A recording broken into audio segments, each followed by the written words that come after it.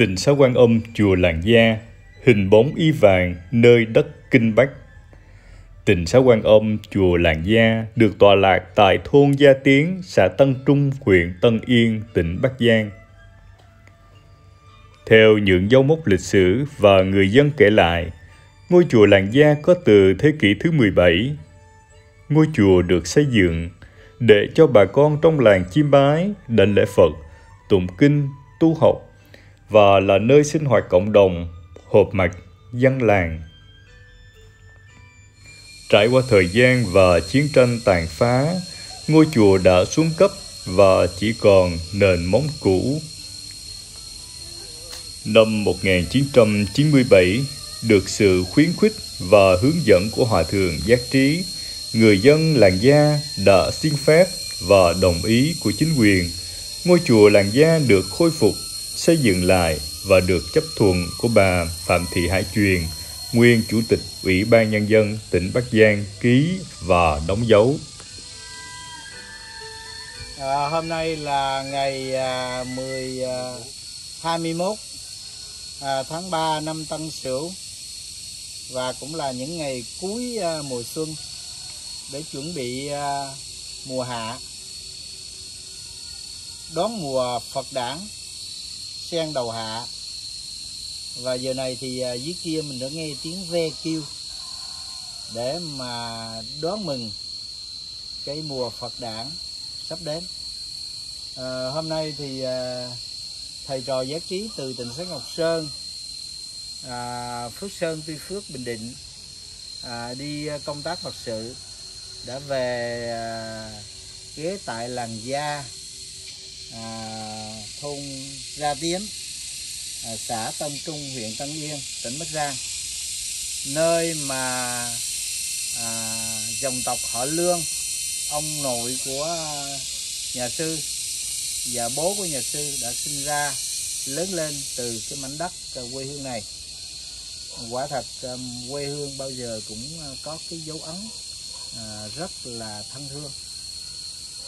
Cho nên là giác trí đã về đây tiếp nhận cái ngôi chùa làng gia và trùng tu xây dựng trên mảnh đất của cụ lương hoàng.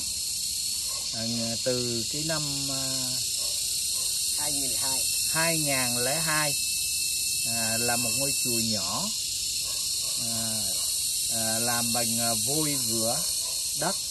Đến nay thì 2021 20 à, gần 20 năm thì ngôi chùa làng gia bây giờ rất là khang trang. Đầu tiên nhất là trước cổng chùa trước chùa có cái tượng ờ, mề quan âm bồ tát. À, thật là trang nghiêm thật là hoan hỷ và từ bi. Mỗi khi phật tử chúng ta về đây à, chỉ cần à, bái à, đức quan thế âm bồ tát lòng ta đã bình an lòng ta đã hoan hỷ. Và ngôi chùa à, được à, xây dựng từ lại xây dựng lại từ năm 2014 2014 à, chúng ta đã xây dựng lại được ngôi chùa. À, sau ngôi chùa là cái tháp. À, chuông thấp thoáng thấp thoáng xin mời à, tất cả chúng ta đi vào chùa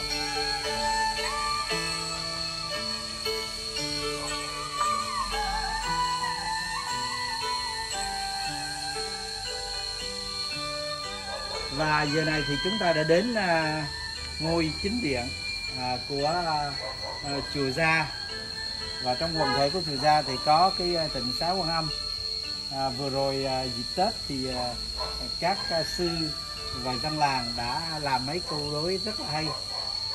Tiếng kỷ hợi đi cuối năm mừng hạnh phúc. Đoán canh tí tí về mừng năm mới thành công và trong xa kia thì có những cái câu là viếng chùa đầu năm cầu hòa bình trăm điều hạnh phúc.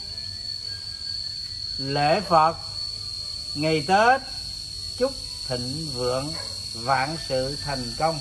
À, hôm nay thì về thấy ngôi chùa đã được khang trang nhà sư rất là quan hỷ. Nơi đây thì ờ, ngôi chùa này chính thức trụ trì là sư đại đức giác đính và người phụ trách trợ duyên à, trong công tác à, tri sự ở chùa. Đó là sư à, giác minh trú là người của địa phương. Chúng ta đi một vòng. Năm 2002, cụ Hoàng là bố của Hòa Thượng Giác Trí đã về lại nơi chôn nhau các rốn của cụ và thăm lại quê hương tại làng Gia. Cụ đã phát tâm cúng dường mảnh đất trên đồi gần khuôn viên chùa Gia với diện tích một hecta đất của dòng tộc họ Lương để mở rộng thêm khuôn viên chùa Gia và thành lập ngôi tịnh xá quan âm trong quần thể chùa Làng Gia.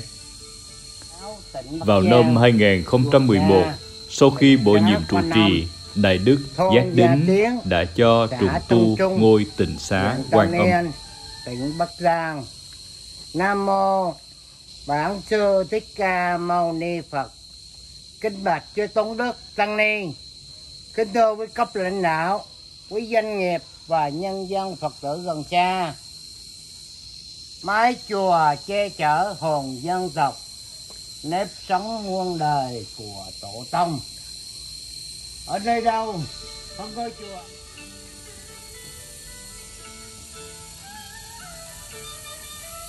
Năm 2014, Sư Giác Minh Trú đã vận động đồng bào Phật tử đại trùng tu ngôi chánh điện chùa Làng Gia. Sư Giác Minh Trú là người con xuất thân trong làng và sau này xuất gia tu học đệ tử của Hòa Thượng Giác Trí. Năm 2020, Sư Giác Minh Trú đã cho xây dựng giảng đường và tháp chuông từ trên đồi cao Tiếng đại hồng chung ngân vang lan tỏa đến người dân cả làng thôn Gia Tiến. Tiếng đại hồng chung là âm thanh báo hiệu để người dân chuẩn bị vác cuốc ra đồng, xóa tan sự mệt nhọc, phiền não và đưa con người đến chân thiện mỹ, khơi dậy lòng từ bi, trí tuệ, tâm thức Phật của mỗi người trong làng Gia, thôn Gia Tiến, xã Tân Trung, huyện Tân Yên, tỉnh Bắc Giang. tại uh, tầng 3 của lầu chuông à, chùa ra tầng 6 quan âm và giờ này nhà sư xin tặng bài hô chuông.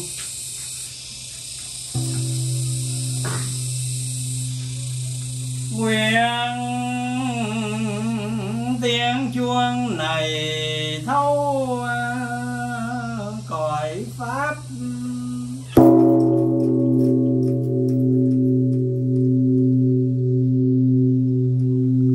Thiết vị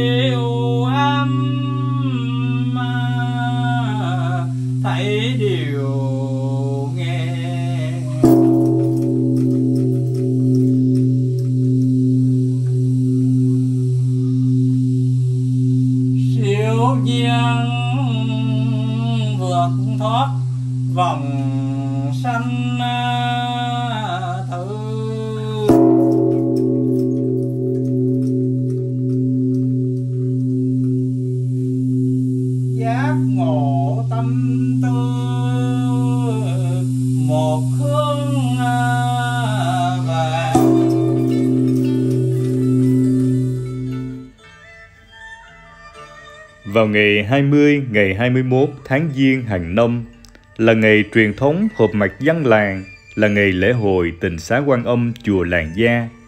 Hòa thượng Giác Trí cùng chư tăng Quan Lâm về để chứng minh tham dự lễ hội và cầu nguyện cho người dân làng Gia thuộc đất Kinh Bách luôn được ấm no, hạnh phúc, mưa thuận, gió hòa, mùa màng, thịnh vượng